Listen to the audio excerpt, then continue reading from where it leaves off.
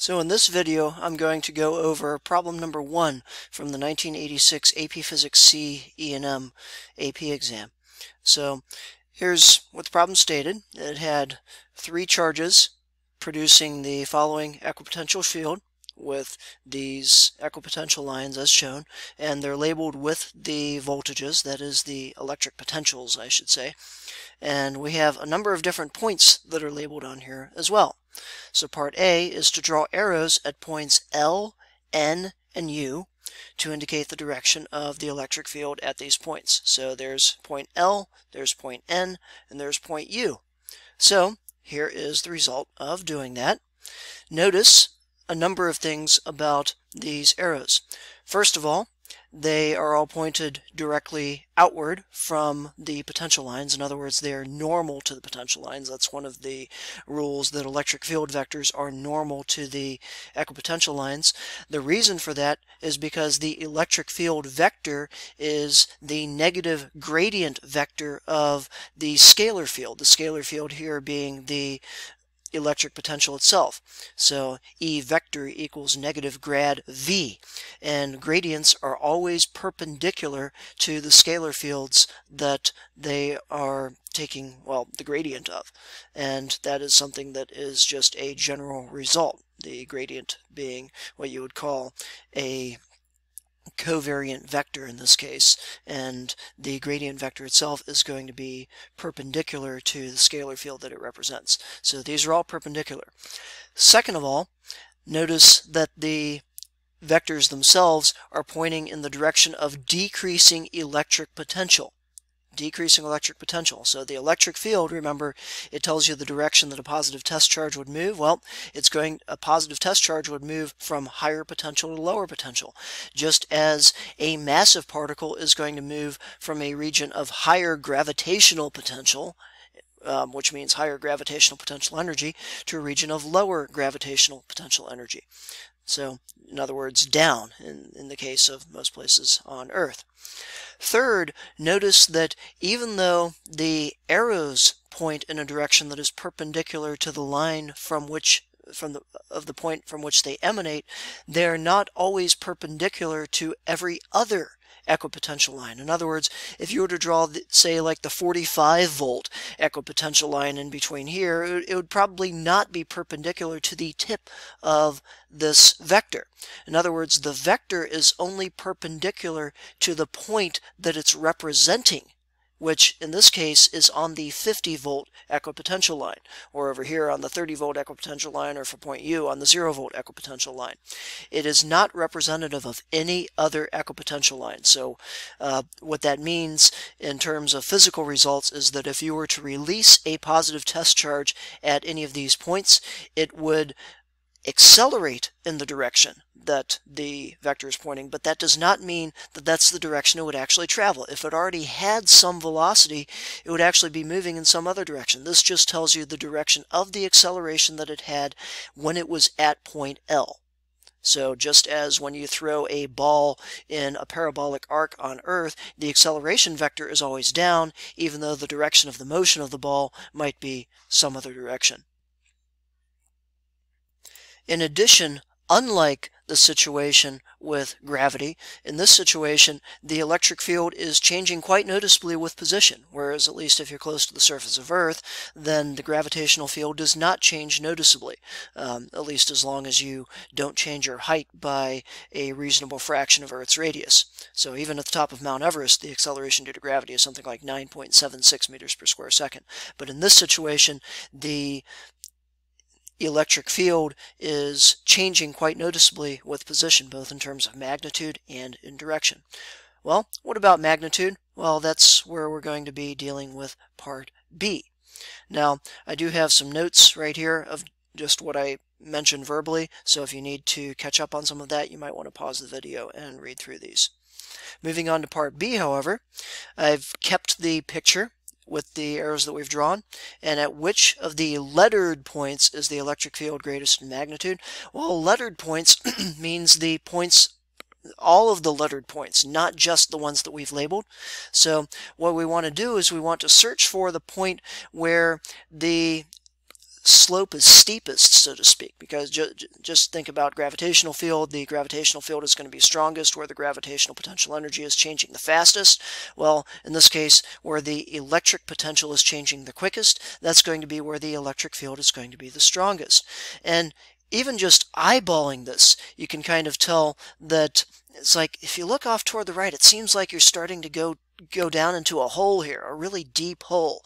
And so yeah, indeed the electric field is strongest at this point T right here. This is the point where the lines are closest together. That's how you can explain that. The equipotential lines are closest together, which means that's where the electric field is uh, the strongest. The, uh, the electric potential is changing the fastest, meaning that the electric field is the strongest at this point. Now, it turns out you actually would have gotten some credit here if you had uh, listed point U because they decided to be merciful on students who could not properly read directions and simply interpreted the question to mean of the three labeled points that they had labeled in part A. And so they gave credit for people listing point U among those. But yeah I mean gotta read the directions more carefully. Other years maybe they wouldn't have been quite so merciful. And it would definitely be point T So here is the picture again, in case you need it for your reference, that showing just in enlarged view of what we were just looking at. And indeed, the gradient here is very sharp, and that's where you're going to have the largest electric field. Now moving on to part C, computing an approximate value for the magnitude of the electric field E at point P. Well, here we can actually try to make a map. Remember that the electric field vector is equal to the negative gradient of the electric potential. So at least in terms of some sort of positional coordinate, you would have that the electric field is equal to the negative derivative with respect to position of the electric potential. So like negative dV ds, where little s is our um, just normal spatial coordinate that doesn't necessarily have a well-defined um, x, y, and z that's already predetermined. So in this case, since we're trying to determine an approximate answer, the idea is that we're going to say that, okay, at point P, which is right here, we want about the negative delta v over delta x. In other words, E equals negative dV over dx or ds, which means that approximately, as long as the electric field isn't changing too sharply here, which it doesn't appear to be, in other words, the distance between the 30 and 20 equipotential lines is about the same in this region as the distance between the 20 and the 10 equipotential lines, and similarly between the 30 and the 40 in this area. So it, the electric field is not changing very sharply here. We don't have any reason to think that it suddenly starts to go up right here as it's going down to 20 or anything like that. Um, so we can approximate the electric field as being negative delta V over delta S, and how do we get the, those numbers? Well, delta V is just the difference in potential between here and here, and delta S is the distance between here and here. Now, why that distance? Well, because that's a distance that's easy for me to measure. What I can do is I can make kind of a ruler um, approximating this 10 to the minus 2 meters that they give us down here, except I tilt it in the direction that I know I want to go here. And I notice that I have two of these metrics between my 30 volt equipotential line and my 20 volt equipotential line. So, since there is a change of 10 volts, in fact, a change of negative 10 volts, over a distance of 2 times 10 to the minus 2 meters, we can compute an approximate value for our electric field. So we have our delta x, or delta s if you prefer, being 2 times 10 to the minus 2 meters, that is 0.02 meters. And delta v, technically delta v final minus initial is negative 10 volts, but they're looking for a magnitude of the electric field anyway.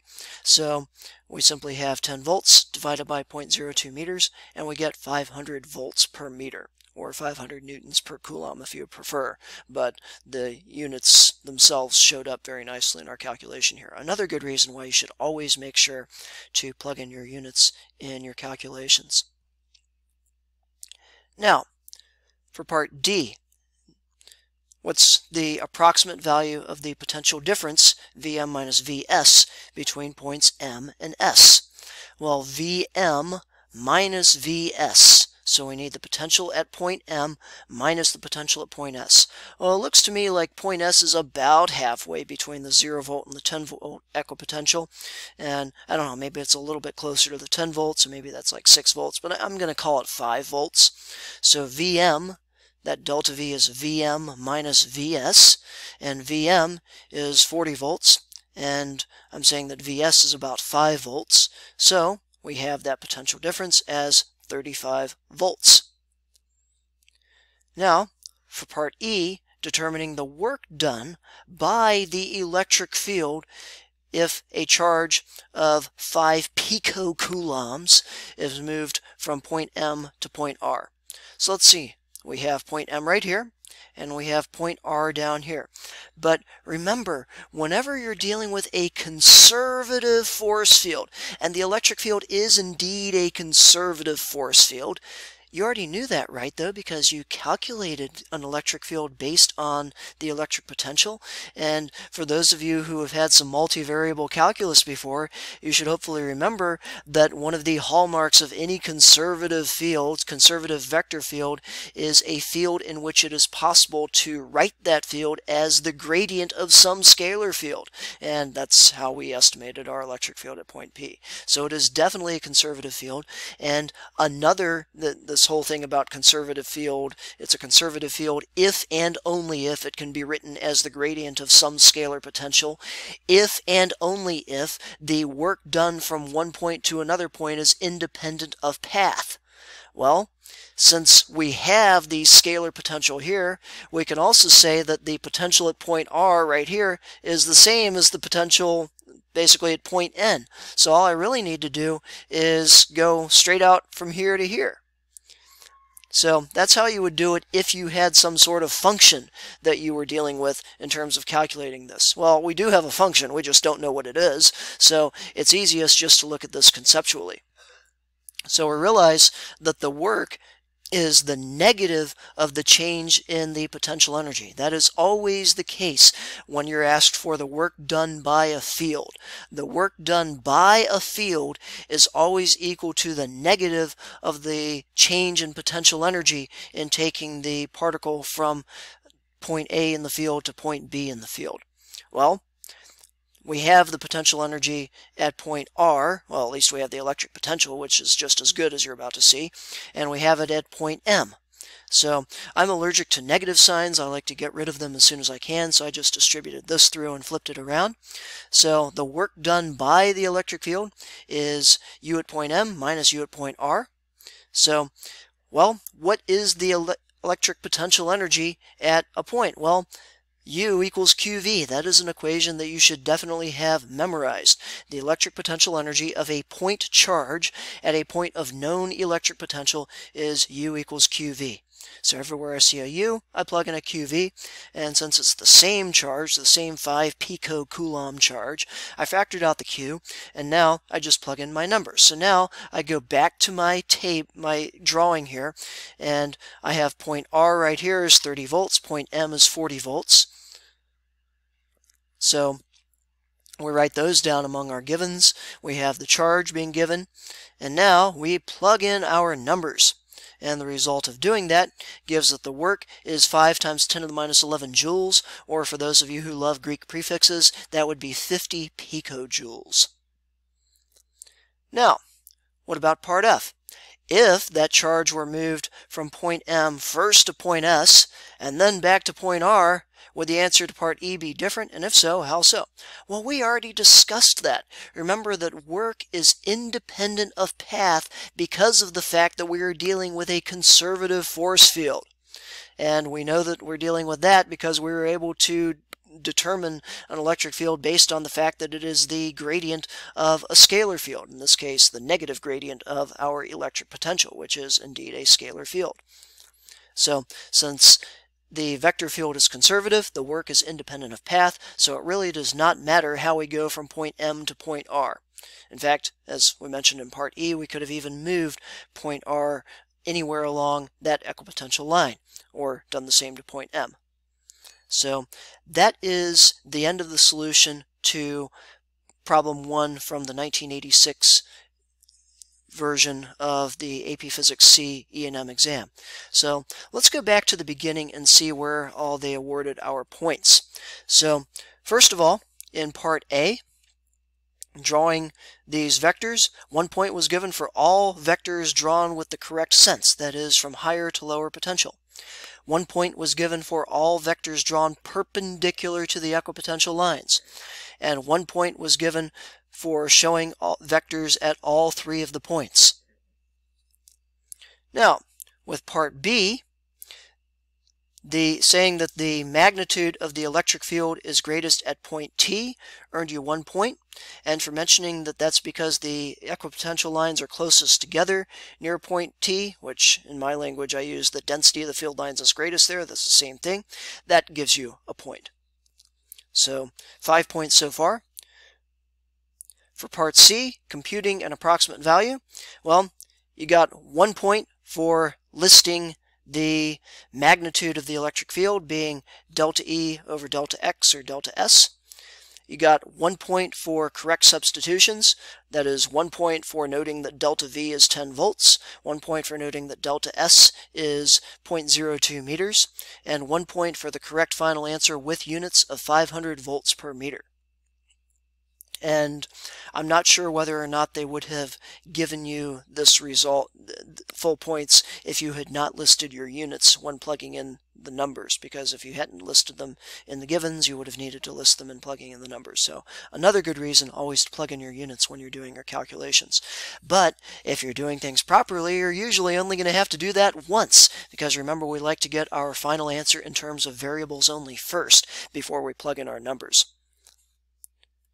so on part D, calculating the approximate potential difference. So this was simply worth two points for writing it, just plugging in the numbers and getting the overall final answer of 35 volts. And they, they actually gave you a plus or minus 2 volts in the number. So if you decided to call that point um, 6 volts, for example, like might, might have been the case. They, they allowed you to do that. Okay, for part E, they gave you one point for the equation W equals Q delta V. In this case, we derived it, but um, if you just listed it, that would have been fine. Actually, my mistake on that. They, they wanted you to list it and then plug in the numbers. So one point for plug, proper plugging in of your givens with units and one point for the correct answer with units. Actually, two points. So I'm guessing that they gave one point for the magnitude of the answer and one point for correct units. Or maybe one point for the magnitude at least having the 5 there with units, and one point for the correct power. Sometimes they do it like that, that 10 to the minus 11. And finally, in part F, they gave one point for the correct answer, that it is no, because work does not depend on path. So that's it for our going through the solution for problem number one of the 1986 AP Physics C Electricity and Magnetism exam. If you have any questions, please let me know.